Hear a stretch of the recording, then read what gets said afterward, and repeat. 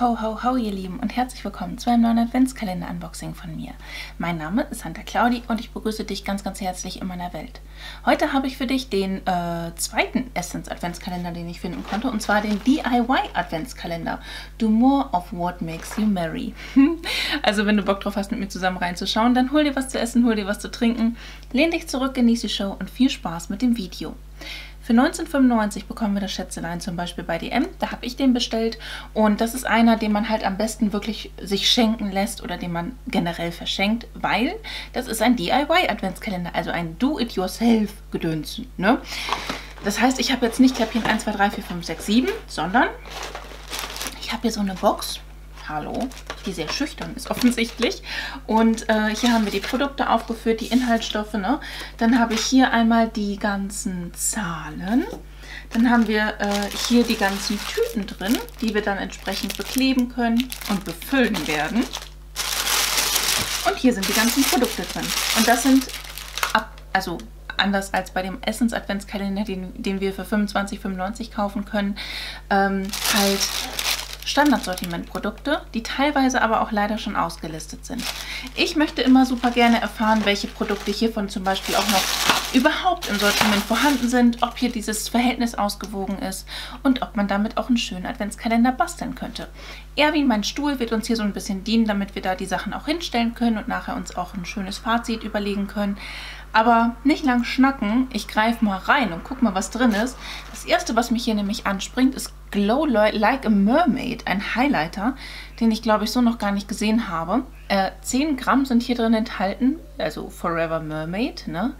Ähm, diese bunten Highlighter, muss ich gestehen, sind nicht ganz so meine Welt. Also das ist mir ein bisschen zu krass. Ich bin dann halt eher dezenter unterwegs oder halt im, im Glass-Skin-Segment oder so, dass man halt wirklich so einen Hauch von sieht, ne?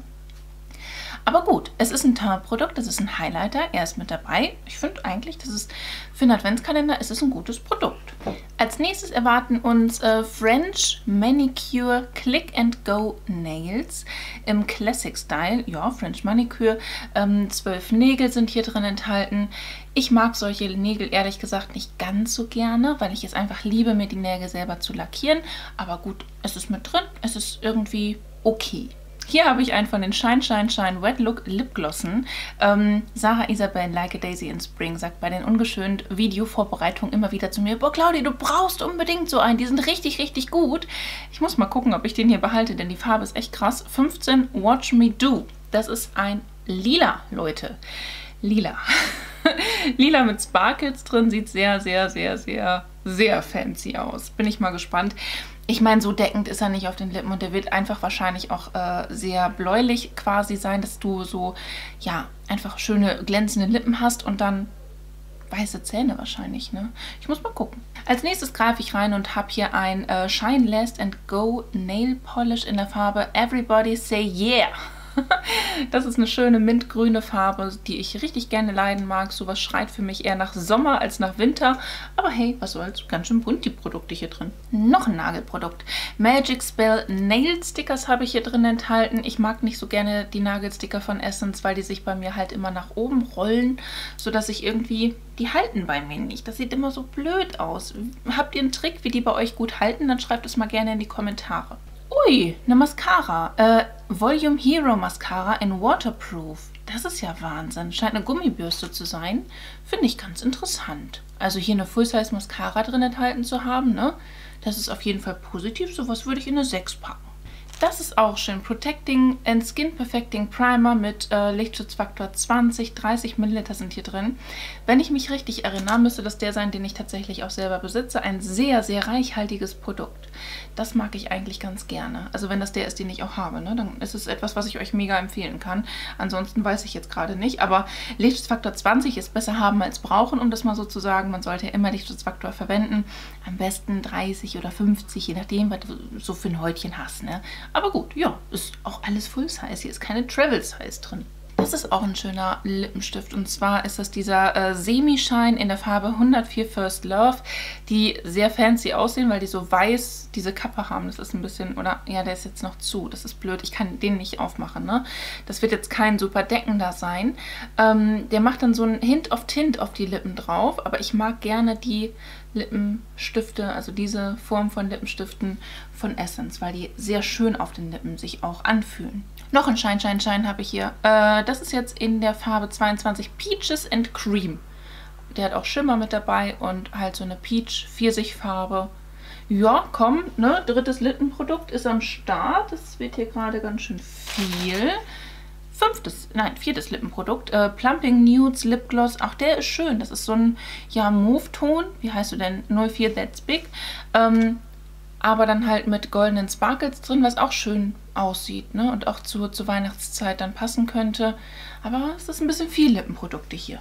Hier habe ich noch ein Nagelprodukt. Ähm, ja, ich mag French Manicure, habe da aber nicht die Muße für mir das zu machen. Habe aber auch gehört, dass dieses French Manicure relativ out sein soll.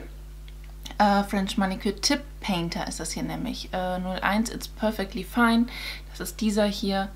Ja, ist halt ein Weißton, ne? Den kannst du theoretisch auch auf den ganzen Nagel machen und dann hast du halt einen weißen Nagellack. Noch eine Mascara, Super Curl Volume Mascara Eye Opening. Okay, und die hat auch ein Gummibürstchen, was so geschwungen ist. Ist hier hinten so drauf abgebildet. Ja, cool. Also schon schön, ne? eine zweite Mascara hier mit bei zu haben. Dann hast du auch so ein bisschen die Auswahl. Noch ein Nagellack, aber eine schöne Farbe, komm. Endless Summer, die Nummer 58 passt für mich jetzt nicht unbedingt in den Adventskalender, aber da ich den Adventskalender im September auspacke, passt das natürlich super. Wunderschönes, ähm, ja, fast schon melonenfarbenes Peach. wow, das ist eine ganz bescheuerte Bezeichnung gewesen. Aber ich finde die äh, Farbe sehr, sehr schön. Schön knallig, schön bunt. Hier habe ich ein Augenprodukt und zwar äh, Thin and Thick, ein 2 in 1 Eyeliner Pen. Da hast du zwei verschiedene Seiten. Einmal für die für eine präzise Geschichte und einmal für eine etwas breitere Geschichte. Sowas finde ich schön. Ne? Also ich würde vor allem dann mit der dünnen Seite arbeiten. Dann wüsste ich halt nicht unbedingt, warum es dann auch eine dick gäbe. Aber ist okay. Ne? Weil eigentlich versuche ich ja so präzise wie möglich meinen Wing dahin zu basteln. Aber vielleicht ist die dicke Seite auch total super. Man weiß es nicht. Aber ich, das ist halt immer so das Ding bei diesen DIY-Geschichten von Essence. Ne? Das sind super viele Produkte drin, wo ich denke, hm, sind die überhaupt noch im Standardsortiment oder sind die schon längst ausgelistet und irgendwelche Resterampe, wir fegen mal zusammen Geschichten. Ein Monolidschatten habe ich hier drin und zwar ein ganz normales mattes Weiß. 2,5 Gramm in der Farbe 20 Cream. Das ist halt ein ja, Mono, mit dem kannst du grundsätzlich dein Augenlid setten. Ne? Das kann man theoretisch bei jedem Look verwenden. Schon brauchbar. Noch ein Eyeliner ist hier drin. Nee. Nail and Cuticle Tattoo Liner, das finde ich interessant. Das finde ich interessant. Damit kannst du dir dann auf den Fingern drauf rummalen. Feier ich. Okay, das wird ausprobiert, Leute. Also das ist ein Nagelprodukt, was ich so noch nie gesehen habe. Aber was ich feiere. Ich hätte erst gedacht, das wäre ein Eyeliner. Ist ja wahrscheinlich ähnlich wie ein Edding, oder?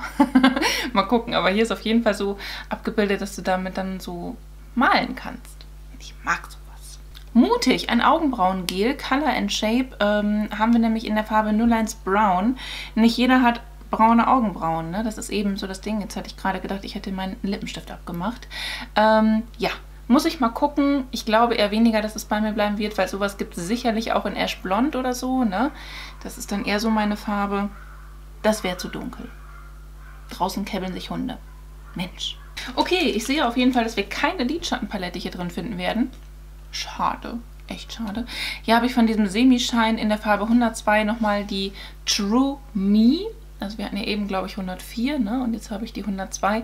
Ist jetzt nicht so super unterschiedlich. Also da hätte ich irgendwie ein bisschen mehr Variation schön gefunden.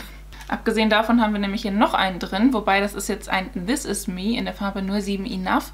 Der ist äh, auch sehr für Sarah Isabel geeignet, weil die halt auch gerne diese sehr dunklen Sachen mag. Und ich würde euch die gerne rausdrehen, da die aber noch verschweißt sind und ich nicht jedes Lippenprodukt hier behalten werde. Ne?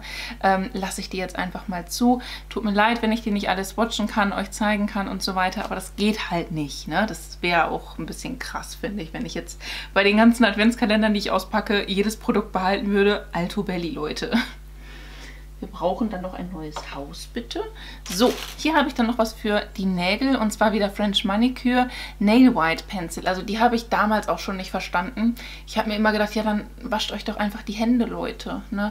Also ich fand es nie so bombastisch und feiere den auch nach wie vor nicht so wirklich. Also nie. Noch ein Eyeliner, wow. Äh, Superlast Eyeliner Waterproof. Das ist so ein Dip-Eyeliner, die ich persönlich jetzt nicht so ultimativ feiere. Ähm, ja, Nee. Nee. So, ja, dann greife ich hier rein und habe noch drei Stifte. Einmal ist es ein Long Lasting Eye Pencil in Rosy and Goldie.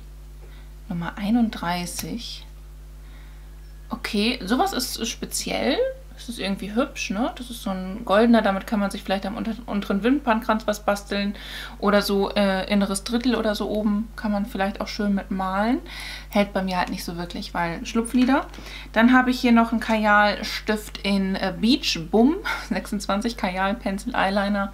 Das ist auch eine schöne Farbe, sowas mag meine äh, Stiefmam Nein, meine Stiefschwiegermutter in Spee. Die mag sowas immer sehr, sehr gerne leiden. Äh, wenn der jetzt noch lange hält, wäre das natürlich cool. Und es ist halt ein schönes, schönes, schönes Blau. Mag ich auch gerne leiden vom Farbton her. Und ein Lip Liner ist auch noch mit am Start. Ähm, der Soft and Precise Lip Liner Long Lasting in der Farbe 105 Be Mine. Auch das ist einer von diesen Holzstiften zum Anspitzen. Ich müsste den hier tatsächlich vielleicht sogar noch da haben. Das ist nämlich so ein super schöner universeller Ton, den du mit extrem vielen Lippenprodukten kombinieren kannst. Egal, ob du so ein knalliges Rot nimmst, ob du so einen relativ nudigen Ton nimmst oder so, ne? Es passt halt sehr schön, weil sowas immer sehr nah an, also vor allem an, an meiner an meinem Teint dran ist, nicht nur meine Hautfarbe, sondern auch an meinem Unterton so, ne? Weil das halt auch so ein bisschen rosig ist. Das passt bei mir ganz gut. Ja, das wäre er nun der Essence DIY Adventskalender, Leute. Das sortiere ich hier noch ein bisschen zu, dass wir hier auch eine kleine Übersicht haben über wie viele Produkte aus welchem Segment hier so drin sind. Ich weiß jetzt nicht, ob jeder DIY Adventskalender den gleichen Inhalt hat. Würde ich aber schon tippen, ne? Ja, würde ich schon sagen. Hm, bin ich jetzt ehrlich gesagt nicht so ultra Fan von, weil ich den äh, von, also den anderen von Essence finde ich einfach schöner. Den finde ich liebevoller gestaltet. Irgendwie ist der abwechslungsreicher und irgendwie haben wir da nicht so zusammengewürfelt die Produkte drin, wenn ihr versteht, was ich meine. Also wir haben mit zwei Tint-Produkte drin, wir haben äh, zwei Mascaren drin, was ich cool finde, ähm, zwei Kajalstifte, zwei Eyeliner, dann haben wir einen Monolidschatten, ein Augenbrauengel, drei Lipglosse, drei Lippenstifte, ein Lipliner, so ein zwei, drei Nagel, vier Nagelzusatzprodukte würde ich sagen, ne? Drei Nagellacke. Ja, ähm, nee. Also für mich wäre das jetzt kein Adventskalender, den ich jetzt hart feiern würde, ne? Schreibt mir gerne mal eure Meinung in die Kommentare. Vielleicht habt ihr auch schon das andere Unboxing gesehen. Aber ich finde, der ist halt wirklich so ein bisschen zusammengefähigt. Also für mich sind hier super viele Produkte drin, die halt eigentlich gar nicht mehr im Sortiment drin sind und die einfach nur raus mussten. Und dann hat man sich gedacht, ja, wie kriegen wir die dann noch irgendwie für einen schönen Preis weg? Machen wir dann einfach mal so einen Adventskalender daraus. Das finde ich immer ein bisschen blöd. Ne? Und in Relation zum Beispiel zu den Adventskalendern DIY von Catrice. Ähm, Catrice hat ja auch immer so Lidschattenpaletten und sowas drin. Das vermisse ich hier. So einen öseligen Monolidschatten. Nee, das finde ich dann auch irgendwie nicht so cool, ne? Aber wie gesagt, schreibt mir gerne eure Meinung mal unten in die Kommentare. Das fände ich mal ganz interessant. Und äh, dann war es das auch hier von mir. Wenn es dir gefallen hat, dann lass mir doch sehr, sehr gerne einen Daumen nach oben da. Würde ich mich mega drüber freuen. Ansonsten wünsche ich dir einen wunderschönen Tag, einen wunderschönen Abend. Lass es dir ganz einfach gut gehen. Fühl dich ganz doll gedrückt von mir. Ich verlinke dir mal hier oben meine Playlist mit den ganzen Adventskalender-Unboxings. Hier unten meinen neuesten Upload. Auf dieser Seite noch ein Video von mir. Und hier oben kannst du, wenn du möchtest und es vielleicht noch nicht getan hast, mich sehr, sehr gerne einmal kostenlos abonnieren. Ich würde mich echt von Herzen drüber freuen. Lass es dir gut gehen und hoffentlich bis zum nächsten Mal. Ciao.